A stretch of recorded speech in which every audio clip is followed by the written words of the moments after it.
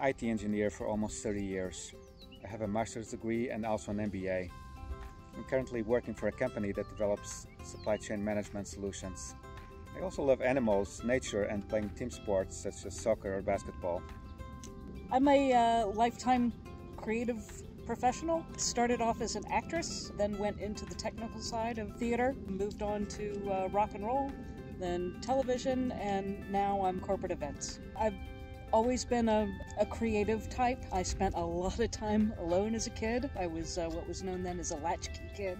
That meant that I spent pretty much from noon till 5 p.m. on my on my own. Uh, and so uh, during that time, I would read a lot, draw a lot, and uh, spend a lot, a lot of time in my head uh, and I enjoyed it.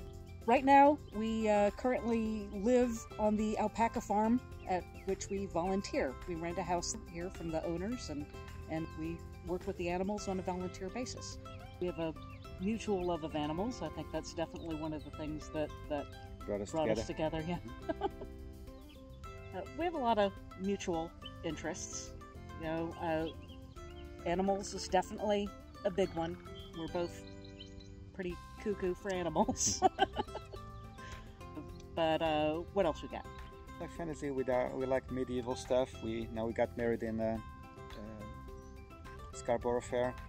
In uh, you know, I was in a suit and armor. Mhm. Armor. Yeah.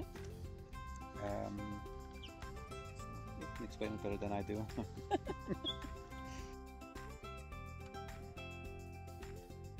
We've just spent a day out at the Renaissance Festival, uh, the same one at which we got married four years ago.